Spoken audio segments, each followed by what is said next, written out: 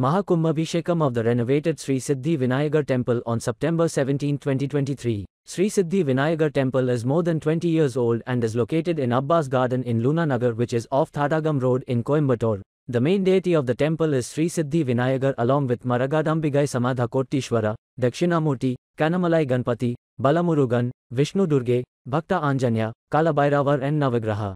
On September 16, a large number of devotees participated and took part in Mulapari Tirtha Kudam. The procession started from Muniswara Kovil in Abbas Garden Extension Street number 1 and visited Arasamaram Vinayagar in Abbas Garden Road and finished at Sri Siddhi Vinayagar Temple.